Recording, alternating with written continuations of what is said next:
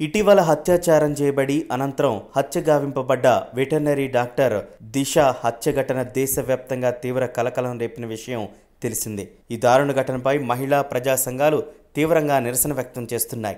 ఇక ప్రజలతో పాటు రాజకీయ సినిమా ప్రముఖులు కూడా ఆమె హత్యను ఖండిస్తున్నారు.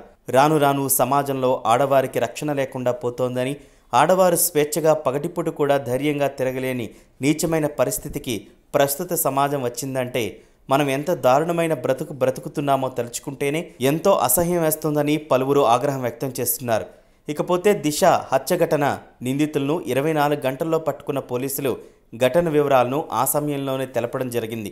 ఇక మొన్న వారిని పూర్తిగా విచారించిన అనంతరం నిందితులను కోర్టులో హాజరుపరిచిన పోలీసులు ఆ సమయంలో సమర్పించిన రిమాండ్ రిపోర్ట్లో దారుణమైన నిజాలు వెలుగులోకి వచ్చాయి.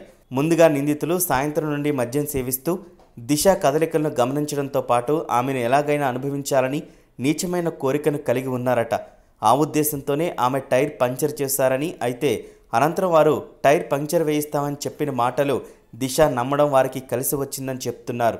ఆ తర్వాత పంక్చర్ విషయమై కొంత డ్రామా క్రియేట్ చేసిన నిందితుల్లో ఇద్దరు దిశ కాళ్ళను పట్టుకోగా మరొక ఇద్దరు చేతులు పట్టుకుని పక్కనే ఉన్న పాత ఇంటి వద్దకు తీసుకెళ్ళి ఒక్కొక్కరిగా అత్యాచారానికి పాల్పడ్డారని అలానే ఆ సమయంలో ఆమె గొంతులో కొంత మద్యం పోసారని చెప్పారు.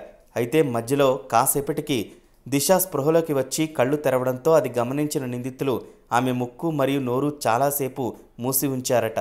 దాంతో కొన్ని క్షణాల్లోనే ఊపిరాడక దిశ చనిపోయినట్లు తెలుస్తోంది.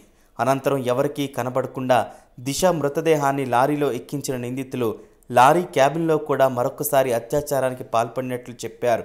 కొన్ని గంటలు గడిచిన తర్వాత అర్ధరాత్రి సమయానికి కొంత దూరం తీసుకెళ్ళి ఆమె మృతదేహాన్ని దుప్పటి కప్పి ఆపై పెట్రోల్ మరియు డీజిల్ పోసి నిప్పంటించారని అలానే ఆ మృతదేహం పూర్తిగా కాలే వరకు అక్కడే ఉండి కాసేపటి తర్వాత ఎవరింటికి వాళ్ళు వెళ్ళిపోయారని చెప్పారు. నిజంగా ఇదంతా విన్న ఎవరికైనా హృదయం చలించిపోక మానదు. కేవలం క్షణిక సుఖం కోసం ఒక యువతిని అతి కిరాతకంగా హింసించి చంపిన ఆ నీచులను ఏం చేసినా తక్కువే అంటూ పలువురు ఆగ్రహం వ్యక్తం చేస్తున్నారు.